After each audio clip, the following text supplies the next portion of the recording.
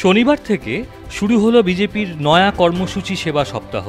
কিছুদিন আগেই বিজেপির একটি প্রেস কনফারেন্সে BJP state general secretary Pratap Banerjee জানিয়েছিলেন, চোদ্দ থেকে কুড়ি তারিখ পর্যন্ত চলবে ভারতীয় জনতা পার্টির সেবা সপ্তাহ।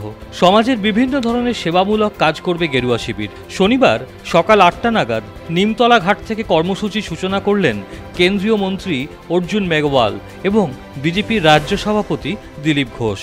সতেরোই সেপ্টেম্বর প্রধানমন্ত্রী নরেন্দ্র মোদীর জন্মদিন তারই জন্মদিবসকে কেন্দ্র করে অভিনব পদ্ধতিতে জনসংযোগ বাড়াতে সচেষ্ট ভারতীয় জনতা পার্টি। গেরুয়া শিবির নানান সেবামূলক কাজকর্ম নিয়ে পৌঁছে যাবে সাধারণ মানুষের কাছে। যেহেতু এক সপ্তাহ ধরে চলবে এই নয়া কর্মসূচি, তাই এর নাম দেওয়া হয়েছে সেবা সপ্তাহ। এই দুটো বিষয় থাকবে এবং গ্রামে গ্রামে বৃক্ষরোপণ। আমরা যেদিন থেকে সদস্যতা অভিযান শুরু করেছিলাম প্রত্যেক গ্রামে পঞ্চবটি স্লোগান ছিল। আমি তখন তোকে পঞ্চাশটা গাছ লাগিয়েছি খড়গপুরে আর এরকম সব জায়গায় বৃক্ষরোপণ হবে সবুজ বাঁচানোর জন্য। যাতে প্লাস্টিক সিঙ্গেল ইউজ প্লাস্টিক বর্জন করতে হবে আমরা সেটা করব। এবং জল সঞ্চয় সবাই করবে যে কোনো ধরনের জল বাঁচাবার চেষ্টা করা হবে।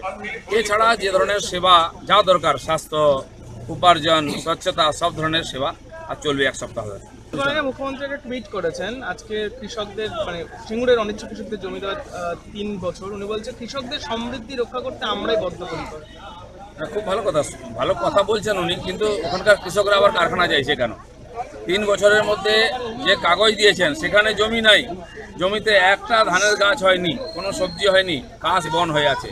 চাষের উপযোগী নেই জমি পাথর আর লোহাতে ভর্তি। আগে চাষের উপযোগী করে দিন তাহলে চাষ করুন নাহলে কারখানা দিন উনি কিছুই দিলেন না খালি ভোট নিলেন। Abhijit প্রামাণিকের report heritage vision twenty four India